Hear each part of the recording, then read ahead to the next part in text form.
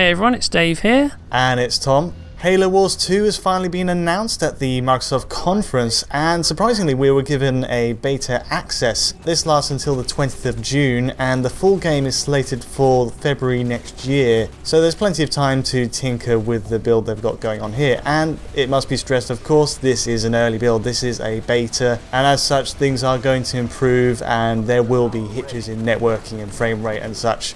It's all par for course really. So what are we seeing here Dave?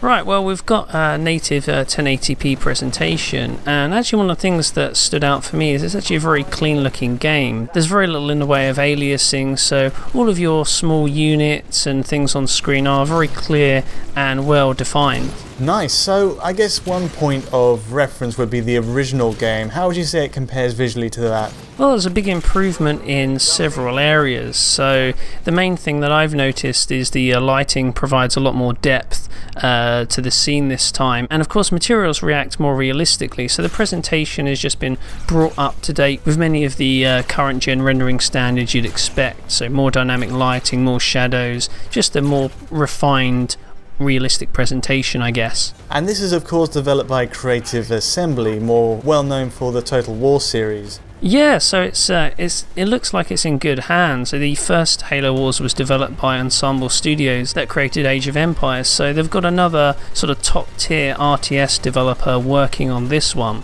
And this is coming to PC as well. Curiously, no cross-platform play announced so far, but uh, that may change. There's been announcements that it could happen potentially if there's a mouse and keyboard support on Xbox One.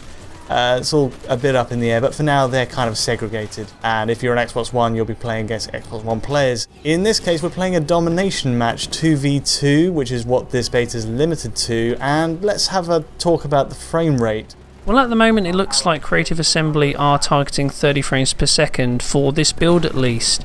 And, uh, well, as you can see, performance is quite variable depending on what is going on. Yeah, you can really see the drops to about 25 FPS when units kind of congest in one spot. And that comes along with tearing as well, which, I don't know, do you notice it a lot during play in a game like this, a top-down RTS?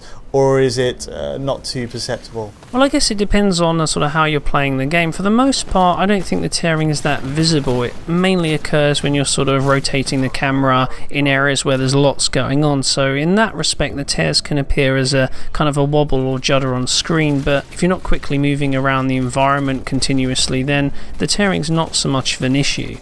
The frame rate can cause a few problems in areas where it drops quite low, say to the mid to low 20s, as the uh, button presses can feel a bit laggy and that can be a bit distracting. But you know, it doesn't make the game unplayable. It's an RTS, so it's fairly slow paced in terms of uh, controlling your units, but it's just an area that could be improved. Right, well, hopefully it will be. It is early days, we've got months before release, and let's see what happens. Okay, so that about covers it. Thanks for joining me on this one, Tom. If you enjoyed this analysis, don't forget to give us a like and remember to subscribe to support Digital Foundry. Thanks for watching, and I'll see you next time.